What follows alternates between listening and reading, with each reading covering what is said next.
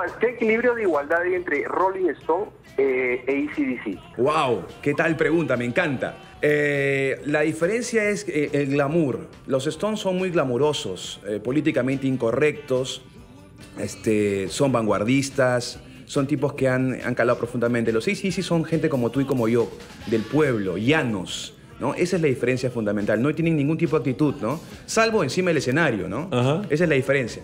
Ahora, a nivel sonoro también son brutales. Los ACDC son quizá el concierto de rock más grande que hay, ¿no?